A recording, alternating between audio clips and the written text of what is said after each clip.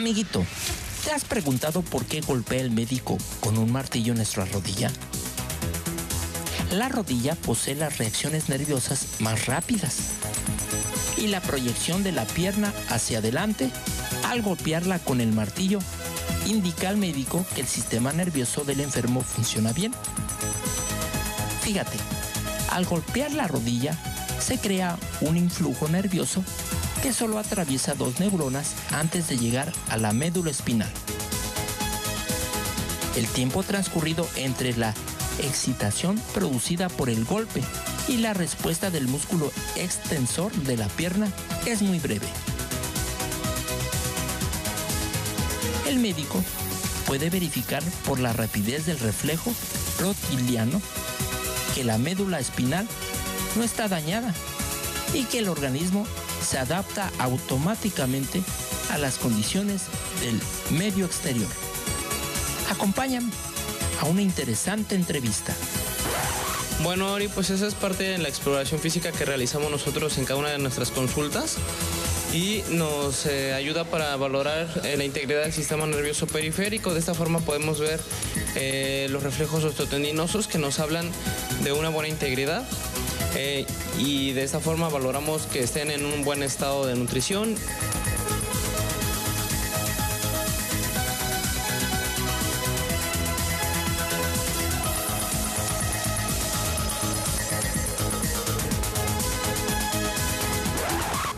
Bueno, podemos buscar los reflejos osteotendinosos en, generalmente en muchas salientes óseas, rodillas, codos, la muñeca, en el talón también puede ser o en el brazo.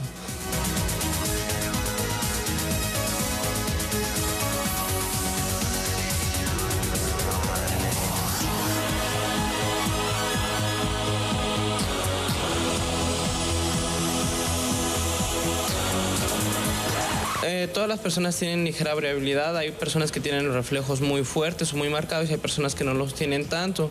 Pero el que el reflejo falte en una persona sí nos haría pensar en tal vez alguna deficiencia vitamínica o alguna deficiencia sensorial a nivel periférico.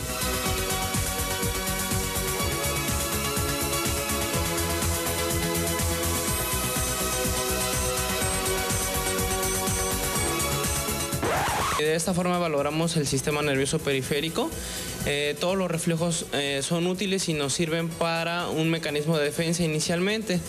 Entonces, el que no exista un reflejo eh, nos puede hablar que hay probablemente una falta de mielinización a los nervios periféricos o no hay una buena integración a nivel de la médula espinal. Bueno, es importante que acudan al médico, que se valoren constantemente y de esta forma nosotros podemos identificar a tiempo alguna deficiencia vitamínica o alguna alteración para poder tratarlos a tiempo. Prevenims, ¿verdad? Claro que sí, prevenims es muy importante.